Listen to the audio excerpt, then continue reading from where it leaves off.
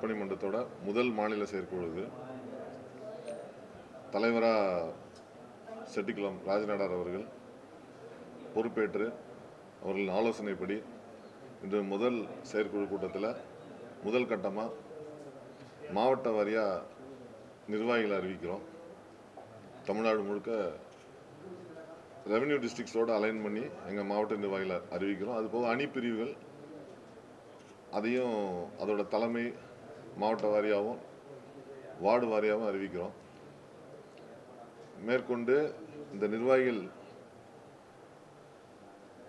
Appoint பண்ண பிறகு இரண்டாவது கட்டமாக தீர்மானங்கள் நிறைவேற்றுறோம் அந்த தீர்மானங்களானது முதல்ல வந்து பனை மற்றும் பனை சார்ந்த பொருட்களுக்கு அரசாங்கம் சலுகை கொடுக்கணுன்றது முதல் தீர்மானம்.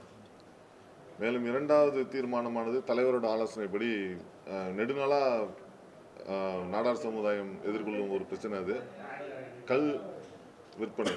அது தடை செய்யப்பட்டிருக்கு. எண்பத்தி மூணுலேருந்து எண்பத்தி ஆறுலேருந்து அந்த தடையாணை இருந்து அதற்கப்புறம் அது உயர்நீதிமன்றத்திலையும் வழக்கு சந்தித்து இன்னைக்கு வரைக்கும் அதில் அனுமதி இல்லை. ஆக அதை என்ன பண்ணலான்னு சொல்கிறப்ப தலைவர் ஒரு அருமையான யோசனை சொன்னார். இந்த கல் விற்பனை என்பது உள்ளூரில் வேண்டாம். நம்ம எக்ஸ்போர்ட் பண்ணலாம். எக்ஸ்போர்ட்டுக்கு அனுமதி கேட்போம். புதிய வேளாண் சட்டம் வேற பிரதமர் அறிவிச்சிருக்கிறாரு. அதோட ஒருங்கிணைத்து நம்ம வெளிநாடுகளுக்கு ஏற்றுமதி செய்யறதுக்கு அனுமதி வழங்கலாம். இன்னொன்று வந்து அரசாங்கமே கல்லை. இப்போ கல்லை நம்ம தடை பண்ணுறப்ப குளோரல் ஹைட்ரேட்டுன்னு சொல்லி ஒரு கலப்படம் இருக்குன்றது தான் அதோட மிகப்பெரிய தடைக்கான காரணமாக சொன்னாங்க. ஆகவே அரசாங்கமே அதை கொள்முதல் கொள்ளி விற்பனை பண்ணுறதுக்கும் நம்ம வேண்டுகோள் வைக்கணுன்றது இது ரெண்டாவது தீர்மானம் எங்களோட ரெண்டாவது தீர்மானம். மூணாவது தீர்மானமானது ஏழை எளிய எங்கள் சமுதாய மக்களுக்கும் அவங்களுக்கு வந்து ஸ்காலர்ஷிப்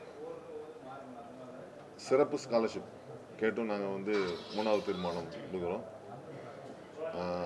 இது முதல்ல இந்த மூணையும் எடுத்து செயல்படுத்திட்டு பின்னர் வந்து அரசியல் குறித்து எங்கள் நிலைப்பாடு எப்பயுமே எங்கள் எங்கள் எங்கள் மன்றத்தில் வந்து எல்லா அரசியல் கட்சிகள் நிர்வாகிகளும் இருக்கிறாங்க. எல்லா மூத்த நிர்வாகிகளும் இருக்கிறாங்க. அங்கே அது குறித்த நிலைப்பாடு தலைவர் வந்து பின்னாடி எங்களோட க பொதுக்குழுவோட கலந்தாலோசித்து அவர் அறிவுறுத்தல் பேரில் என்ன நடவடிக்கைன்னு சொல்லுவோம். இதுதாங்க. தேர்தலை சந்திக்க போறீங்களா? வரக்கூடிய சட்டமன்ற தேர்தலில்? மன்றத்துக்கும் தேர்தலுக்கும் இது வரைக்கும் தலைவர் வந்து அந்த தேர்தலை சந்திக்கிறோமா? தேர்தலில் ஏதாவது எங்க பங்கு இருக்கான்னு இது வரைக்கும் தலைவர் வந்து தலைவரோ எங்க குழுவோ அதோட கமிட்டியோ அவர் கீழே எதுவும் இது வரைக்கும் முடிவு செய்யல. இது குறித்து பின்னர் விவாதிச்சுட்டு அறிவிக்கும் வேற எதுவும் கேள்வி இல்லை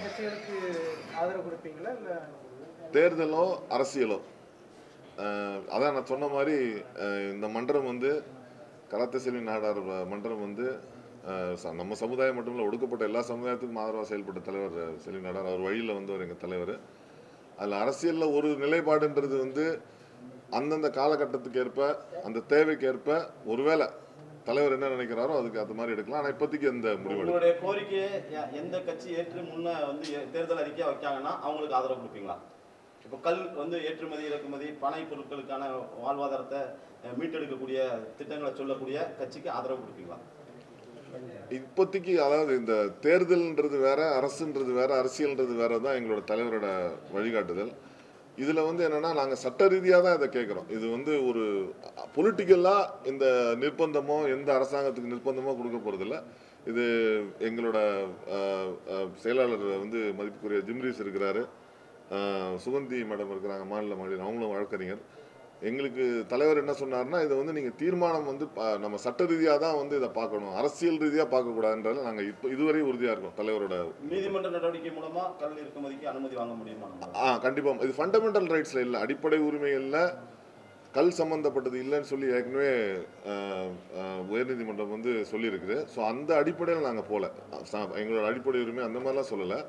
புதிய வேளாண் சட்டங்களோ இல்லை புதிய திருப்பங்களோ இப்போ பார்த்தீங்கன்னா எல்லா விவசாயிகளுக்கும் இது மட்டும் இல்லை எல்லா டீ இருக்குது சில இம்போர்ட் பேன் பண்ணியிருக்காங்க சில இடத்துல எக்ஸ்போர்ட் அலோவ் பண்ணுறாங்க இதே மாதிரி இங்கே நீங்கள் உள்ளே பேன் பண்ணுறதுக்கு வந்து எங்களுக்கு ஃபண்டமெண்டல் ரைட்ஸ் போனால் தான் உள்ளே போனால் தான் பிரச்சனை. நாங்கள் என்ன கேட்குறோன்னா வெளியில் ஏற்றுமதி பண்ணுறதுக்கு தான் கேட்குறோம் வெளிநாடுகளுக்கு ஏற்றுமதி பண்ணுறதுக்கு எங்களுக்கு அனுமதிங்க. அது அரசாங்கமே இல்லைன்னா கொள்முதல் பண்ணி ஏற்றுமதி பண்ணாலும் சரி இல்லை அரசாங்கமே வந்து அதை விற்பனை செய்தாலும் சரி. இப்போ அரசாங்கத்தோட பெரிய பிரச்சனை இதில் என்னென்னா குளோரல் ஹைட்ரேட்னு ஒரு ஒரு ஒரு இதை கலக்குறாங்க. அதுதான் நாங்கள் நாங்கள் நிறுவ இது இப்போ பேசிகிட்டு இருக்கிறப்ப தலைவர் எங்களுக்கு அறிவுறுத்துனது அதுதான். அந்த ஒன்று தான் பிரச்சனைனா நம்ம அதை வெளிநாட்டுக்கு ஏற்றுமதி பண்ணலாமே. அது வந்து எங்கள் சமுதாயத்துக்கும் கஷ்டப்பட்ட சமுதாயத்துக்கும் எங்களை மாதிரி விவசாய சமுதாயத்துக்கும் அது ரொம்ப பிரயோஜனமாக இருக்குன்றது அவரோட கருத்து. அதனால அது அரசின் கவனத்திற்கு மொதல் ரெப்ரசன்டேஷன் கொடுப்போம். அந்த துறைக்கு பர்டிகுலர் துறைக்கு ரெப்ரசன்டேஷன் கொடுப்போம். மேலும் அதுக்கப்புறம் சீஃப் செக்ரட்டரிக்கும் சிஎம்முக்கும் தலைவர் வந்து அவர் அவரே மனு எழுதுவார். இது குறித்து எங்கள் சமுதாயத்திலையுமே எல்லாரிடமும் நாங்கள் வந்து அணு அணுகி இதுக்குரிய அழுத்தத்தை கொடுப்போம். எல்லா கட்சியிலையும் எல்லா அரசியல் கட்சிகளிலும் எங்கள் தலைவர் எங்கள் எங்கள் சமுதாயத்தை சேர்ந்தவங்க இருக்கிறாங்க. ஸோ அது அவங்களும் அறிவுறுத்தல் படி அதை பண்ணிக்குவோம் நன்றி. அரசியல் கட்சிகள் தேர்தல் வாக்குறுதியில இதை சேர்க்கறதுக்கு நீங்க ஏதாவது ஆ எலெக்ஷன் மேனிஃபெஸ்டோ எல்லா கட்சிகளுக்கும் நாங்கள் அது இந்த ஒரு பர்டிகுலர் கட்சின்னு கிடையாது. தலைவரோட அறிவுறுத்தல் என்னன்னா எல்லா கட்சிக்கும் நம்ம வந்து அதை எழுதுவோம். எல்லா கட்சி தலைவருக்கும் எழுதுவோம். ஏன்னா இது ஒரு நியாயமான கோரிக்கை தானே. நீங்களே சொல்லுங்க. குளோரல் ஹைட்ரேட்னு ஒரு இம்ப்யூரிட்டி அதில் கலக்கிறாங்கன்றது அடல்ட்ரேஷன்ற ஒரே காரணத்துக்காக தான் அந்த கோரிக்கை அது நிராகரிக்கப்படுது. ஸோ அதை தலைவர் என்ன சொல்றாருன்னா அதை வந்து அரசாங்கம் பொறுப்பேற்றுக்கிட்டா அது எந்த அரசியல் கட்சியாக இருந்தாலும் எல்லா கட்சியும் அதை வந்து மேனிஃபெஸ்டோவில் போடுறதும் வந்து நியாயம் தானே? அது வந்து பனை தொழிலாளர்களுக்கு வந்து ஒரு மிகப்பெரிய ஒரு இதுவாக இருக்கும். அது போக அரசுக்கும் வருவாய் இருக்கும்.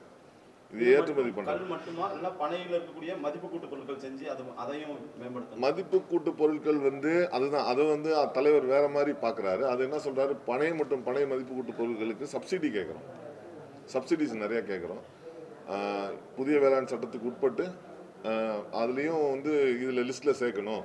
எங்களுக்கு அது போக அத்தியாவசிய எசென்ஷியல் கமாடிஸில் இதை சேர்த்தா எங்களுக்கும் எம்எஸ்பி வர்றதுக்கு வாய்ப்பு இருக்குது இதுக்கும் பிரச்சனை இருக்குது எங்களுக்கு. எம்எஸ்பி பிரச்சனையும் இருக்குது இதில். ஸோ அதையும் கோரிக்கையாக மத்திய அரசுக்கும் வைப்போம். அது கண்டிப்பாக வைப்போம். அது ஏற்கனவே தலைவர் அறிவுறுத்தல் பண்ணியிருக்கிறார். சரி இப்போ இந்த பனைகள் நிறைய இடங்கள்ல அழிச்சிட்டு வராங்களே அது சம்பந்தமா ஏதாவது பனை மரங்களை செங்கல் சூளைக்காக தரிக்கிறாங்க. அதுக்கப்புறமா இப்போ கடையம் மாதாபுரம் பகுதிகளில் செங்கல் சூளை அதிகம் களக்காடு இந்த பகுதிகள் அதிகம். தரிக்கிறதுக்காக தறி பனையை வெட்டுவதை நிறுத்திட்டு புதிய பனை விதைகளை இப்போ நிறைய தன்னார்வ அமைப்புகள் போடுறாங்க. அது குறித்து நம்ம ஊக்கப்படுத்துறதுக்கு நம்ம அமைப்பு சார்பாக. மரம் அழிக்கிறதுன்றது அதாவது பயோடைவர்சிட்டின்றதுல ஒரு முக்கியமான பங்கு. இன்னொன்று பனைமரம் மட்டும்தான் ஹைபிரிட் நேச்சர் இல்லாமல் வளரக்கூடிய அதை வந்து யாராலையும் கலக்க முடியாது. எல்லாருக்கும் தெரியும் நினைக்கிறேன். ஹைபிரிட் பண்ணவே முடியாது. ஸோ பனை மரங்கள் அழியிறதுன்றது ஒரு மிகப்பெரிய கவலைக்குரிய விஷயம். தலைவர் அதை குறித்து என்ன சொன்னார்னா அவங்க எவ்வளோ அழிக்கிறோம் அழிக்கட்டும். நம்ம புதுசாக விதைகள் போடுவோம் புதுசாக விதைகள் நடுவோம்.